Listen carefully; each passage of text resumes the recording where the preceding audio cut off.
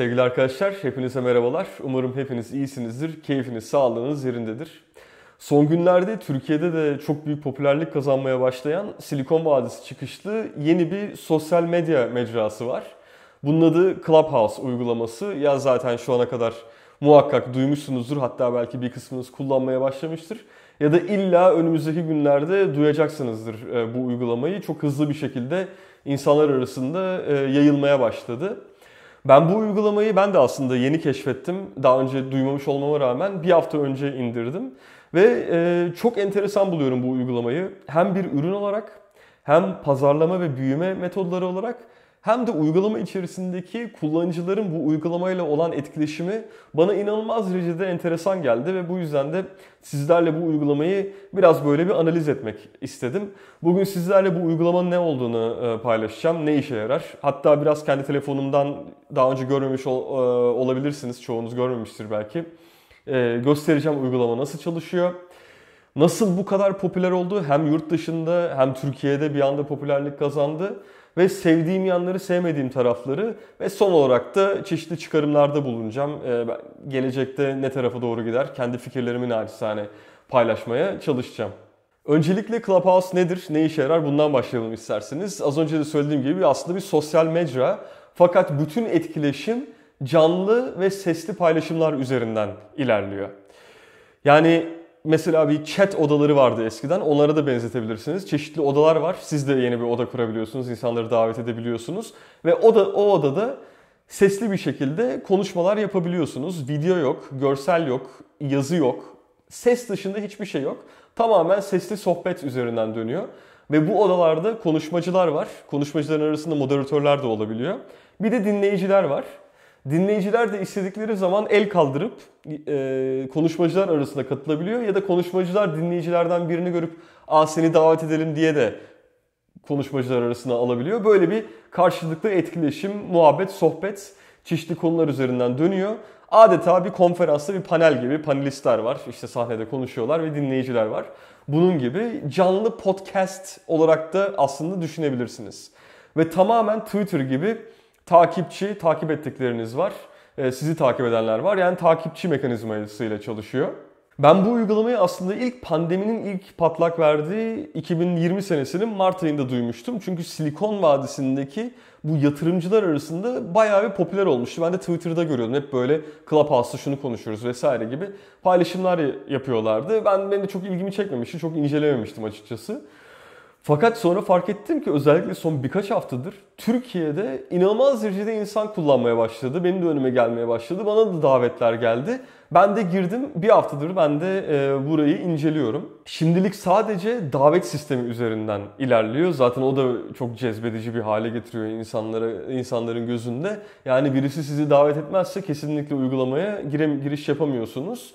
Ve bu kadar böyle şu anda davet sistemiyle büyüdüğü için sınırlı sayıda insana açık. Yani Türkiye'de de belki maksimum 3-5 bin hadi 10 bin kullanıcısı vardır. Amerika'da Silikon Vadisi'nde de şimdi e, tam rakamlarına bakmadım atmayayım ama çok böyle çok aşırı büyük bir kullanıcı kitlesi yok.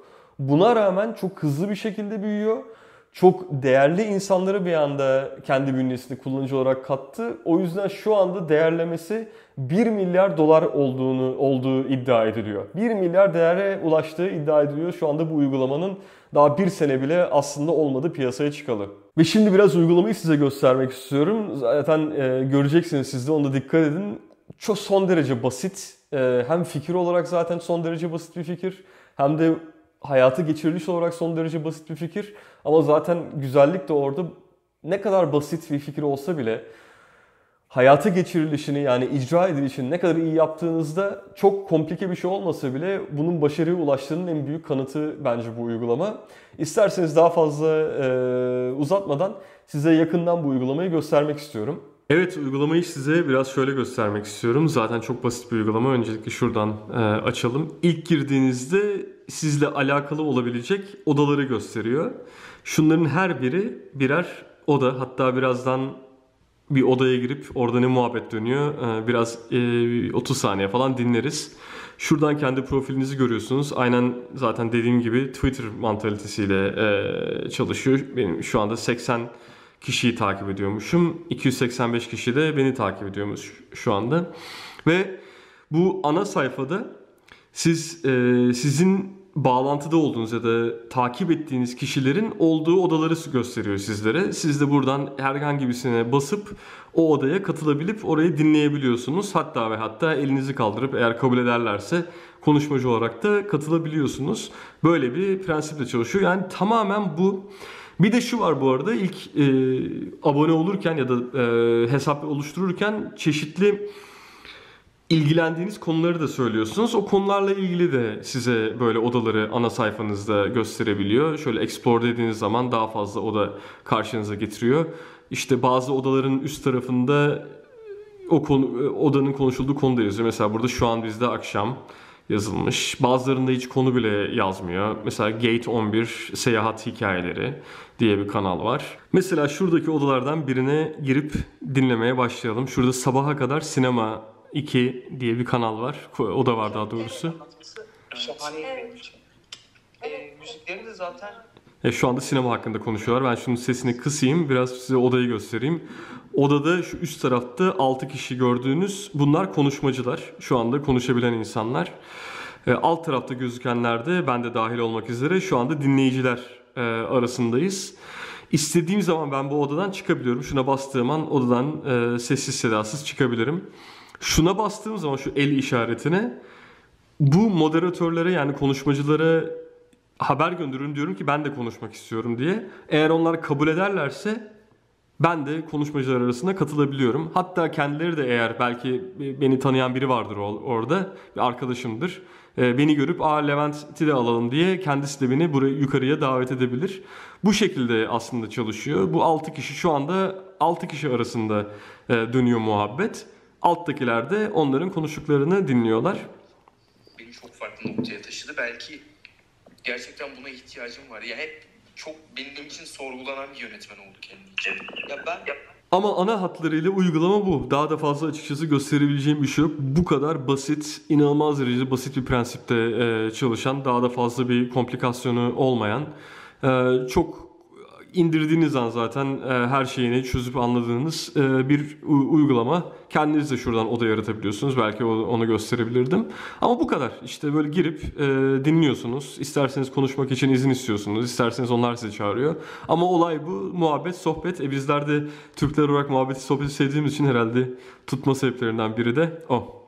Evet umarım uygulamanın nasıl olduğu şu ana kadar kullanmadıysanız ya da görmediyseniz bu gösterdiğim şekilde biraz kafanızda oturmuştur. Şimdi biraz uygulamayı anladık. O yüzden yavaş yavaş artık neden popüler oldu, e, ne, ne, ne taraflarını ben nacizane seviyorum ya da sevmiyorum ve çeşitli çıkarımlarda bulunmak istiyorum. Öncelikle neden bu kadar popüler oldu ondan başlayalım.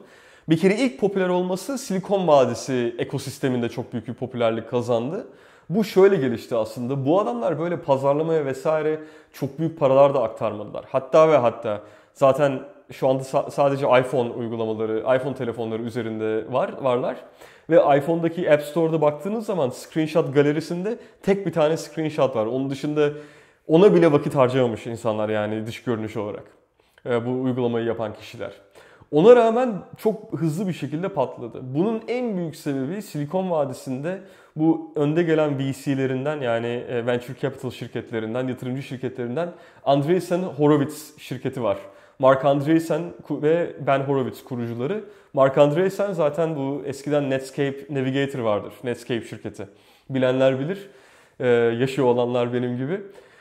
Onun kurucusu ve çok önde gelen Silikon Vadisi'nin yatırımcılarından bir tanesi, girişimcilerinden bir tanesi hatta. Ben Horowitz de e, aynı şekilde bu ikisinin kurmuş olduğu e, bir yatırım şirketi var.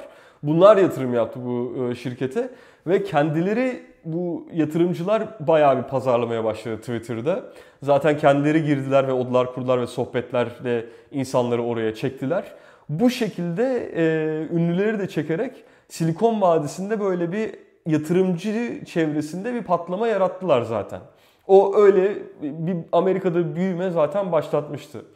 İşin enteresanı bu kıvılcım Türkiye'ye nasıl sıçradı açıkçası onu bilmiyorum. Ama bu kıvılcım yani çok Türkiye'ye sıçraması çok e, eski değil. Son bir aydır yoğunlukla insanlar bu uygulamaya e, kullanmaya başladı. Ve özellikle yine Türkiye'de de yine yatırımcı ve startup camiasının insanları ben en azından görüyorum. Bu da herhalde doğal olarak o insanlar Silikon Vadisi'ni çok yakından takip ediyor. E, böyle natural bir şekilde gelişti ama ben çok yakın zamanda Türkiye'nin geneline de bu uygulamanın yayılacağını e, düşünüyorum. Fakat bunun dışında benim gözlemlediğim bu uygulama insan psikolojisinde bazı şeyleri çok iyi şekilde kullanıp hatta ve hatta manipüle ediyor. Biraz onları değineceğim şimdi. Benim gözlemlediğim 3 tane nokta var. Bunlardan bir tanesi bir kere içeride çok ayrıcalıklı hissetmesini sağlıyor insanların. Hem içerideki insanların içerideyken hem de dışarıdaki insanlar o uygulamayı daha kullanmadan önce orası adeta böyle çok ayrıcalıklı bir yermiş gibi. Ya içerideyseniz ben çok ayrıcalıklı bir kesimin parçasıyım. Bir, e, onun bir verdiği güzel bir his var. Dışarıda kalmışsanız da ya burada çok ayrıcalıklı insanlar var. Ben de kesinlikle orada olmalıyım hissiyatını yaratıyor benim gözlemlediğim. Ve bunu da bu davet sistemini çok iyi kullanarak yapıyor. Tabii davet sistemiyle büyüyen çok fazla uygulama var ama bu adamların uygulaması gerçekten tam cuk oturmuş. O davetle gelen, davet sadece davetle girilebilir hissiyatını beraber ayrıcalıklı olma durumunu insanlara, insan psikolojisine çok iyi işlemişler. Ee, hakikaten böyle bir his veriyor. İkinci bir noktada şu, bu İngilizce bir tabir vardır belki duymuşsunuzdur. FOMO diye geçiyor. Türkiye'de bayağı kullanılıyor duydum ben de. E, Fear of Missing Out. Yani geride kalma korkusu. Bu uygulama bu geride kalma korkusunu da feci şekilde tetikliyor. Hem kullanırken hem de dışarıda kullanmayan ama uygulamadan haberdar insanlar için. Kullanıcılar için şöyle bir şey oluyor. Ben de girdiğimden beri kesinlikle bunu hissediyorum. İşte tanıdığım ya da tanımadığım birçok insan bu uygulamayı kullanıyor. Odalarda muhabbet ediyorlar. İşte birbirlerine soru soruyorlar. Çeşitli paylaşımlarda bulunuyorlar. Ee, insanlar onlara soruyor, o soruları cevaplıyorlar. Hep bir kafanızda şey oluyor. Ya bir gideyim ne konuşuluyor acaba orada? Ne kaçıracağım ben bu sefer? Ee, kaçırmayayım oradaki konuşmaları. Çok önemli şeyler konuşuluyor herhalde kullanıcıya böyle bir hissiyat oluşturuyor. O, onu çok iyi başarmış uygulama. O yüzden her zaman uygulamaya girip neler konuşuluyor hemen odalara gireyim biraz dinleyeyim. E, bak bu tanıdığım insanlar orada ben de burada olmayayım bu hissiyatı kesinlikle veriyor. Dışarıdaki kişilere de şu hissiyatı veriyor. Ya işte şu şu şu kişiler şu anda orada. E, ben şimdi Clubhouse'a üye olma, olmayarak çok büyük geride kaldım. O fear of missing out, FOMO hissiyatı. Dışarıdaki kişileri de bu şekilde veriyor. O yüzden böyle dışarıdan insanlar buraya hücum etmeye çalışıyor. İçeridekiler de daha fazla kullanmaya çalışıyor. E sonunda kazanan uygulama oluyor açıkçası. Nasıl yaptılarsa uygulamayı gerçekten çok iyi dizayn etmişler. Ve o pazarlamasını da bunun etrafında çok iyi gerçekten planlamışlar. Bu fear of missing out hissiyatını insanlarda son derece iyi kullanıp manipüle edebiliyor aslında insan psikolojisini. Ve son olarak da şöyle bir şey aslında insanlarda tetikliyor. Özellikle diyelim ki bir odaya girdiniz. işte ya elinizi kaldırdınız ya da o odada konuşmacı olan biri sizi tanıdı sahneye davet etti konuşmacı olarak. O noktada işte konuşuyorsunuz o e, konu neyse artık. Hatta belki birileri sorular soruyor sizin değerli bilgilerinizi e, duymak istiyor. Bu insanlarda aslında biraz da çok açık konuşacağım yalancı bir otorite ve başarı hissi veriyor insana. Çünkü ne oluyor? Bir anda bir dinleyici kitlesi var. Siz konuşmacı konumundasınız. Konuşulan konu ne olursa olsun e, ondan tamamen bağımsız. Hiç derin bir konu olmayabilir. Alelade bir konu olabilir. Hiç derin derine inmezsiniz o konuda. Ama sanki çok önemli bir konu konuşuyormuşsunuz gibi ve insanlar da işte onlarca kişi sizi, sizi dinliyor e, o anda sahnede siz varsınız. İnsana gerçekten bir yalancı aslında tatmin ve başarı duygusu hissettiriyor. E bu da aşırı derecede aslında e, bağımlılık yaratan bir his. Bu hissi hep hissetmek için uygulamaya geri dönüyorsunuz. İstiyorsunuz ki yine o sahnede olayım. Yine insanlara o değerli bilgilerimi paylaşayım. Ne olursa olsun aslında o bilgi. Belki de çok alelade konulardan bahsediyorsunuz ama o an size kendinizi çok iyi hissettiriyor. Bunu da uygulama çok iyi şekilde başarıyor ve kullananları uygulamaya çok net bir şekilde bağımlı hale getiriyor. Ve son olarak zaten sosyal mecraları da baktığımızda sesli sosyal mecralar ya da sesli mecralar genel anlamda mesela podcastler son birkaç senede inanılmaz derecede popülerlik kazandı. Herhalde bunun da en büyük sebeplerinden biri insanlar artık hep ekrana bakıyor olmaktan biraz sıkıldılar ve telefonunu da açıp ses yapacak işte o belki kenara koyacak belki o an bir şey çalışıyor olacak ee, kenarda onu dinleyecek ya da ne bileyim hala bir bir şeyler okuyacak telefonunda bu uygulama arkada sesli olarak çalışacak orayı dinleyecek. O yüzden daha basit, daha etkileşimi basit özellikle dinleyici olduğunuzda genel olarak zaten sesli uygulamalara bir e, yönelim var. Bu uygulamada onlardan biri. Bu da tabii popülerliğine popülerlik katıyor. Peki bu uygulamada şu ana kadar sevdiğim taraflar neler? Sevmediğim tarafları da birazdan bahsedeceğim. Ama önce sevdiğim taraflardan bahsedeyim.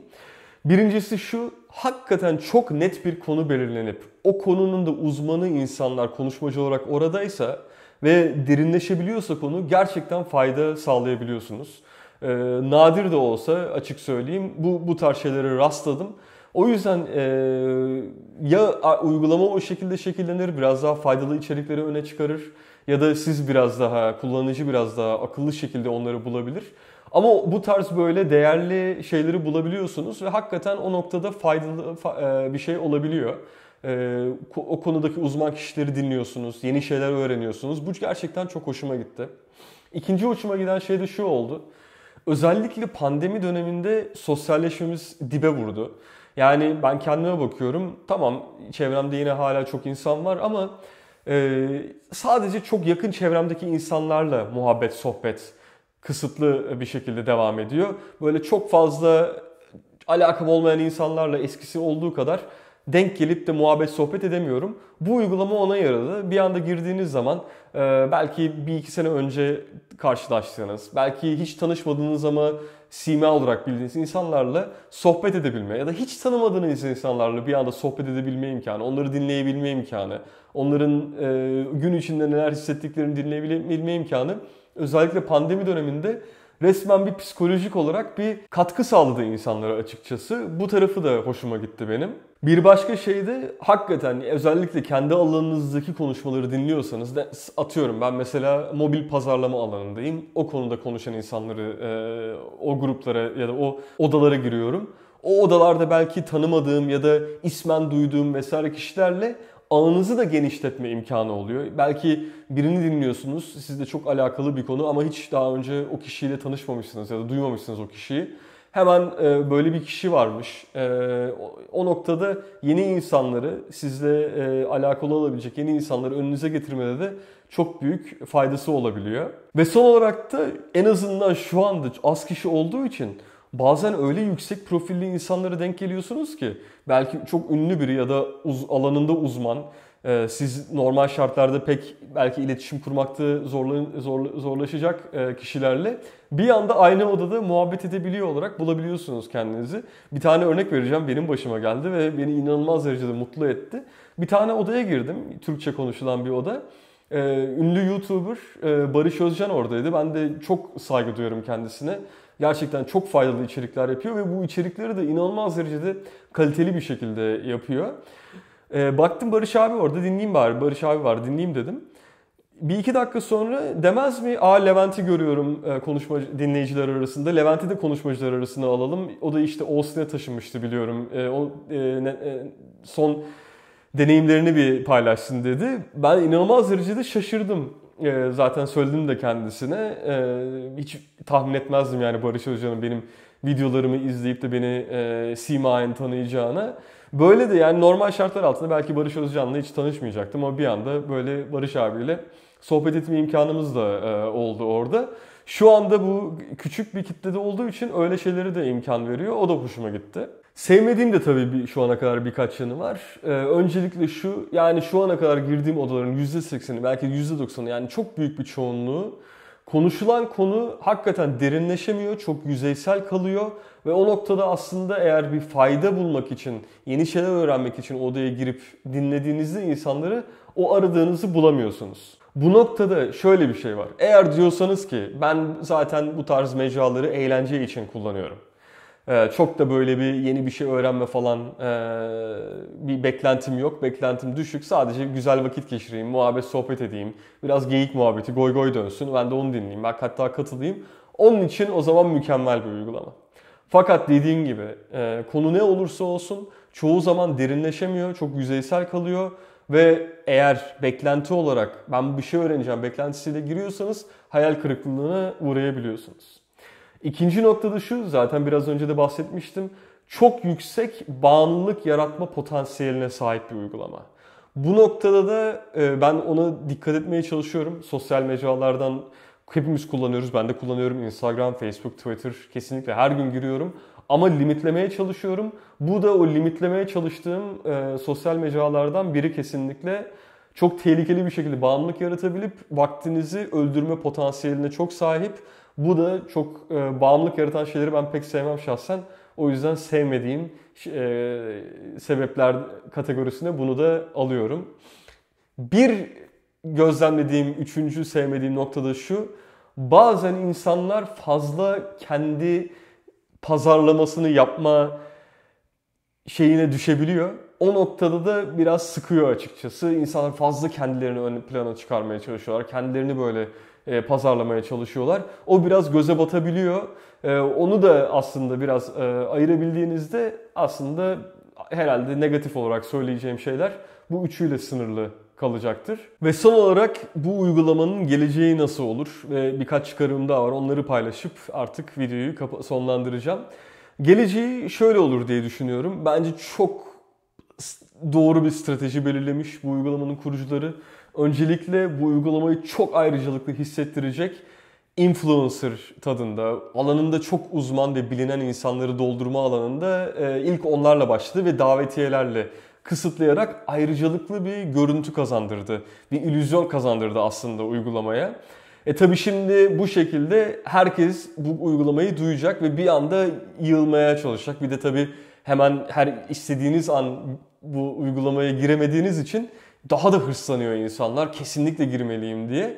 Bununla beraber önümüzdeki aylarda bence e, yüz binlerce belki milyonlarca kullanıcıyı en azından Türkiye'den ve Amerika'dan çekeceğine inanıyorum. E tabi bu bir anda milyonlarca kişi kullanınca o ayrıcalıklı hissettirme şeyi ortadan kalkacak ama artık ona ihtiyacı kalmayacak insanları çekmek için. Zaten herkesin çok sıklıkla kullandığı ve bağımlı olduğu daha önce saydığım sebeplerden dolayı bir uygulama olacak. Belki de sesli Twitter olacak bu noktada. Yani bu ayrıcalıklı hissettirme şeyi tam bu adamların stratejisi, ilk büyüme stratejisi. Büyü, büyüdükten zaten biraz e, şey gibi, tahtravalli gibi o ayrıcalıklı olma hissi azalacak ama kullanıcı sayısı artacak. Ben böyle görüyorum. E, bence bu uygulama büyür, alır yürür ve çok e, ana akım bir sosyal mecra olur diye düşünüyorum. Ve bu uygulama bize tekrar şunu hatırlattı. Videonun en başında da bahsetmiştim. Fikir deseniz inanılmaz basit bir fikir. Uygulamaya geçirilişi, icra edilmesi deseniz çok basit bir arayüzü var. İnanılmaz derecede basit. Ama dünyanın belki de en satüre pazarlarından biri, en satüre alanlarından biri, rekabeti en yüksek alanlarından biri sosyal medya. Zaten Facebook'lar, Twitter'lar, TikTok'lar, Snapchat'ler bu pazarı tamamen domine etmiş şekilde ve girişi çok zor pazarlardan bir tanesi. Buraya da ses getirecek şekilde bir giriş yaptı. Ve bunun içinde çok komplike bir fikre ve çok komplike bir icraya gereksinim duymadı. Doğru şeyleri, doğru strateji şeyleri yaptı. Bu hepimize bir hatırlatma olması anlamında çok e, ilgimi çekiyor benim. Zaten benim en ilgimi çeken şey girip oradaki insanları ve bu uygulamayı inceliyorum. E, bana gerçekten enteresan geliyor. Sizler ne düşünüyorsunuz? Şu ana kadar Clubhouse kullandınız mı? Kullanmadıysanız duymuş muydunuz ve böyle bir ilginiz var mı? E, neler düşünüyorsunuz e, Clubhouse'la ilgili? Bunları da duymak isterim. Altta yorumlarda paylaşırsanız sevinirim. Artık sonraki videolarda görüşmek üzere. Kendinize çok iyi bakın. Hoşçakalın.